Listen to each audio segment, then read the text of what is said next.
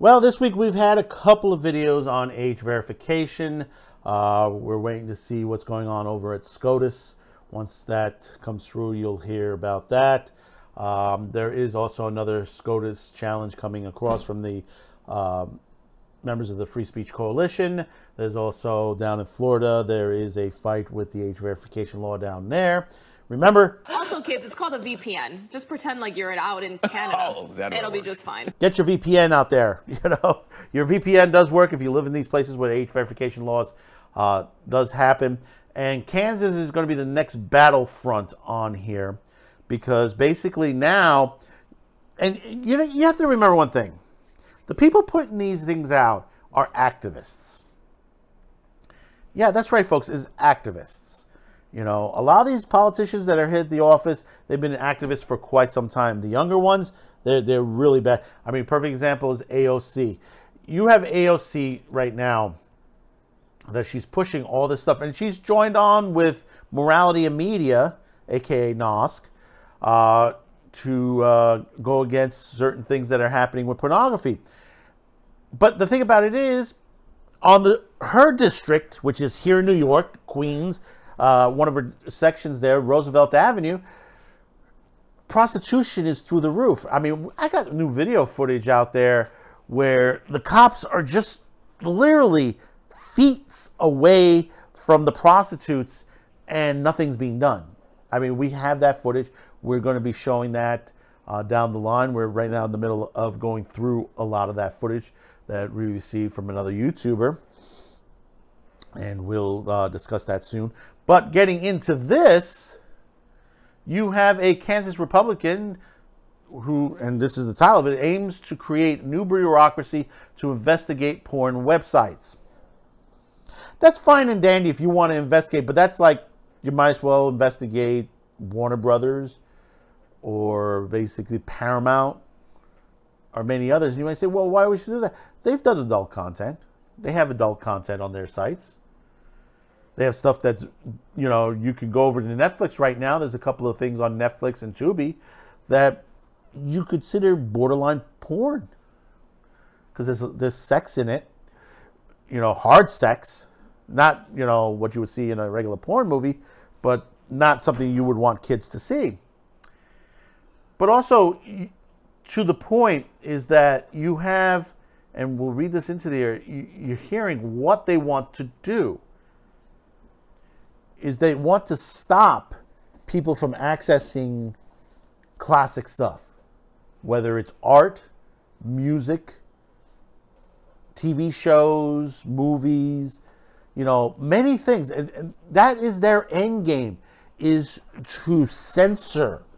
Remember that is to censor stuff that they don't want you to see. You know, the other night I was watching and I understand, you know, that it, it the premise of this could be, you know, a little infuriating to Asians, but uh, I was watching a serial series. Uh, I forgot the name of it, but um, you know tho- those uh, 12, 15 episode serials like Flash Gordon, stuff like that. This particular one was a World War II, where basically it was involved with spies and stuff like that and one of the heroes happened to be Asian. He was Asian. The villain wasn't an Asian. It was a uh, white actor with makeup on, pretending to be an Asian. You know, when I clicked on the video, and this was on Tubi, it had a warning on it. It, it, it had content warning, and it was not a content warning from Tubi. It was a content warning from the distributor, because you could tell that it's not something that Tubi would put up there. And I said to myself, I said, God, this thing was made in the 19, this was in, was it pre-code? No, it was during, somewhere between pre-code and the Hays Code. And to see this today, it's like, doesn't offend me. I don't think it would offend an Asian. You know, it's a character. The guy's acting, you know, back then, you know, you didn't, you know, depending on when, and, and I believe this was somewhere during the war, you know, Hollywood did shy away from certain actors and actresses that were of say, Japanese descent, especially during the Second World War, because of all the situation, because of Pearl Harbor and all that. But there were some actors out there that, you know, played their roles. They were Asian, whether they were Japanese, Chinese, that were in these movies. Some of them played heroes, while others played villains. But, you know, sometimes you had to add something at that time period as a name so people would watch the series on there. You know, the same thing like the episode of Doctor Who, uh, where they used an, a British actor instead of an Asian. But I'm getting too far away from this. Let's read into this. Republican state senator succeeded Monday in moving forward the Kansas version of age verification bills being sponsored around the country by anti porn religious conservative activists, despite serious concerns raised by House Democrats. And you have to say this the Democrats are even raising uh, about this about the cost of establishing a new bureaucracy tasked with investigating websites for porn content. SB 394, carried in the House by Republican Suzanne Humphries, is now headed to the GOP controlled Kansas House of Representatives for a full vote expected in the next few days in Kansas, Miami County Republic reported.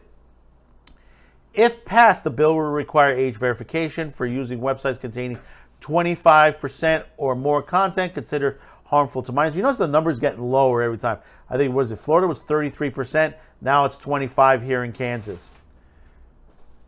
Democrats warned that SB 394 would have a chilling effect on free speech in Kansas and could potentially stop teens from accessing classical works of art, books, LGBTQ material, and other online content housed on websites, as well as potential cost these websites thousands in legal fees, the paper noted.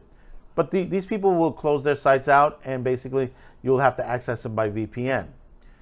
Democratic lawmakers also expressed concern that the bill will cost the state approximately $210,000 in the fiscal year 2025, $220,000 uh, or more in the fiscal 2026 to create new positions to investigate websites, the report added. What is that? That sounds like? Mm, sounds like what the UK and India were putting Ministry of um, of uh, broadcast or ministry, ministry of entertainment. You know, that's what they. That, this is what's getting to. That that's what they want to create. You know, when you when you're sitting there and you're pointing at certain things that you don't like, you know, that's wrong. You know, if you don't like it, you can't stop someone from watching it. You know, unless it actually really truly violates laws, like cheese pizza, for example. Humphries, who pre-politics background is on marketing and Bible studies, no shock on that. Uh, workshops dismissed these concerns instead of rallying her fellow Democrats with insinuate claims that pornography normalizes violence and abuse against women and children, and debunk pseudoscience pronouncement on how many porn, how how porn may impact brain development and functioning is potentially biologic and is biologically uh, addictive, which is incorrect. It's a pseudoscience. Uh, expressly concerned Democratic Representative Re, Re ex, excuse me if I mispronounce this, Re Zhu warned of unintentional consequences, noting that the current slew of age verification bills contain definitions that are much broader than we actually think and could lead to censorship of numerous works of art and literature. Uh, see, that's what it is. And people, and this is what I keep saying. And you know, I do get criticism online, and I understand you can't criticize, but understand this. This is what they want to do.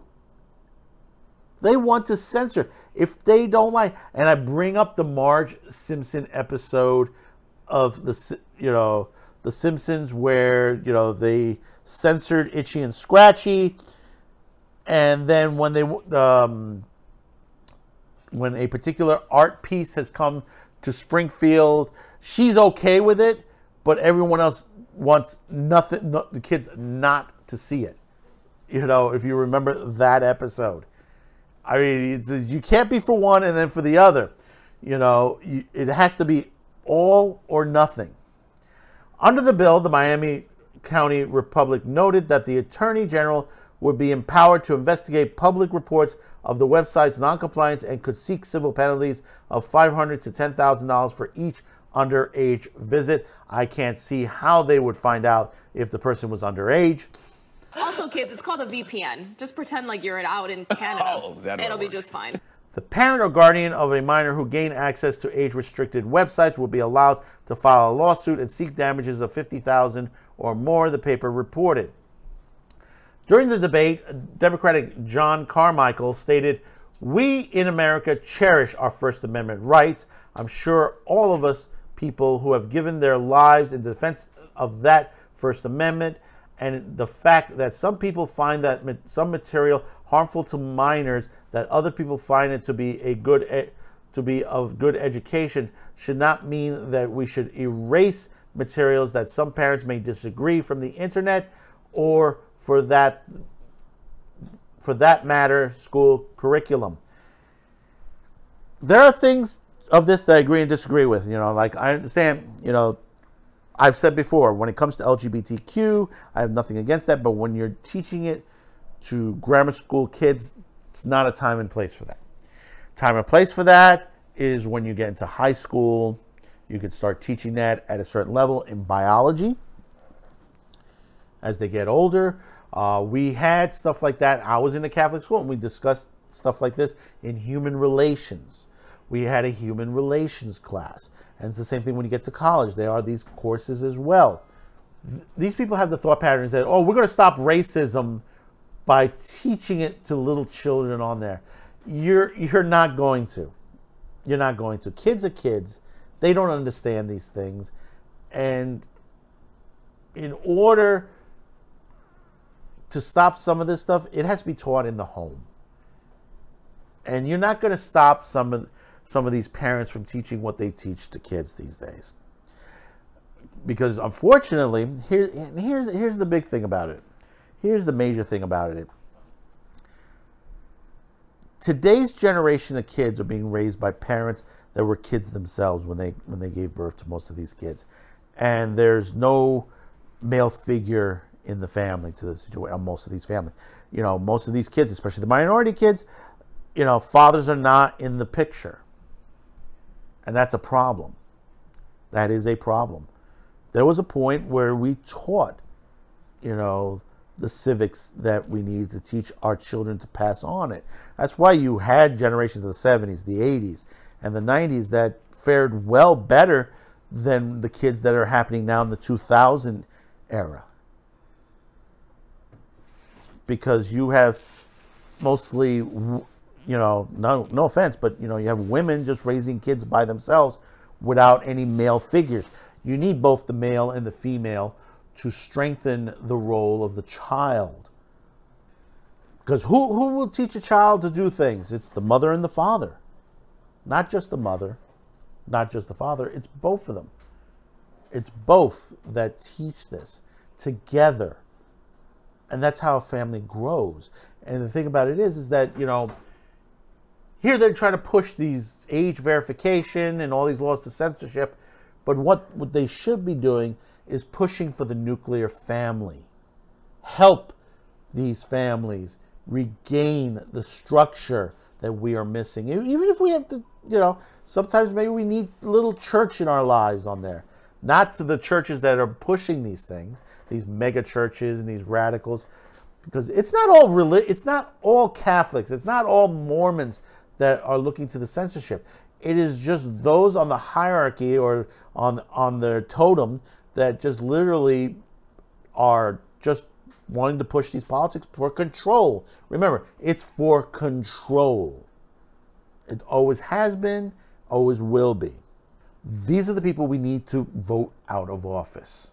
When I tell you, when you go to the vote voting booth, before you go to the voting booth, educate yourself. You can do it. You can look these people up. What bills have they pushed? What makes them, even if they're new to politics, what makes them qualified to be your representative? And that's the important thing. You know, we have rights that we should be respected for, that it should be maintained, not the shit that's been going on. I mean, between the age verification, people being arrested. I mean, you know, you you got press corps being arrested on here. People that have done nothing, that are sitting in jail to this day, that they haven't seen a court judge as far as their trial. Violations of the Fifth, the Sixth, the Eighth Amendments on there. Put that in your mind. Think about that for a minute.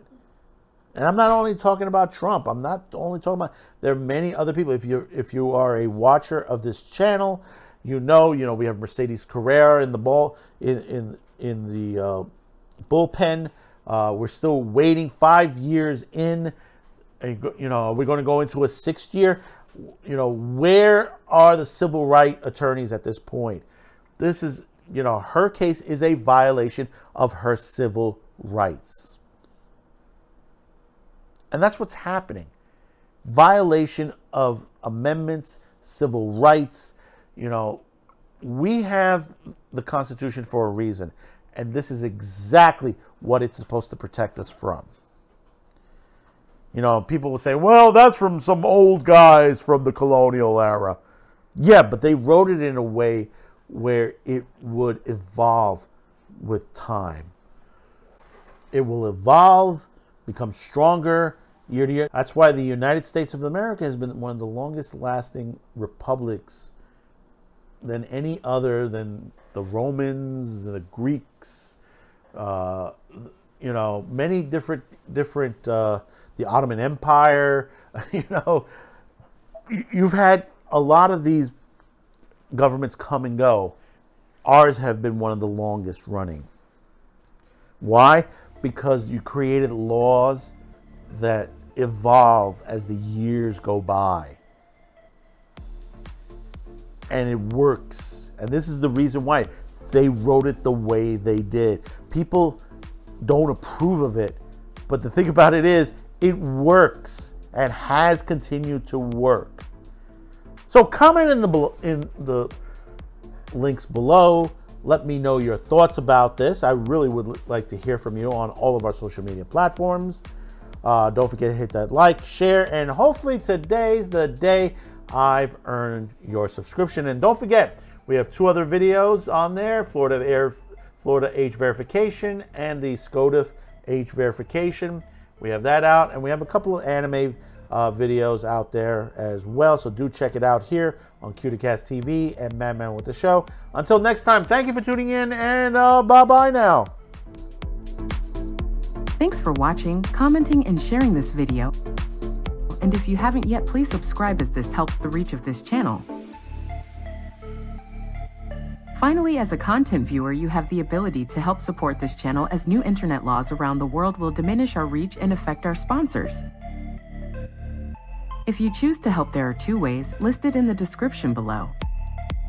The first link will lead you to a pay site where you can make a monetary donation.